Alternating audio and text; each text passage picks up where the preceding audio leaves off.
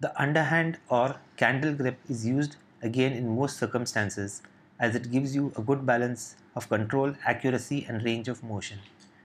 With the underhand grip, you can produce long, soft and fluid lines.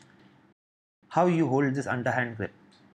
You place the pencil in the first crease of your index finger, hold it with the thumb, the middle finger supports the pencil and the rest of the fingers wrap around. For your assignment this week, you will choose a subject matter to draw. Choose something simple and draw it using the underhand or candle grip. Do this throughout the week so that you get a good experience of using it and are comfortable holding the pencil this way. If you have got any value from this video, please give it a like and consider subscribing for more.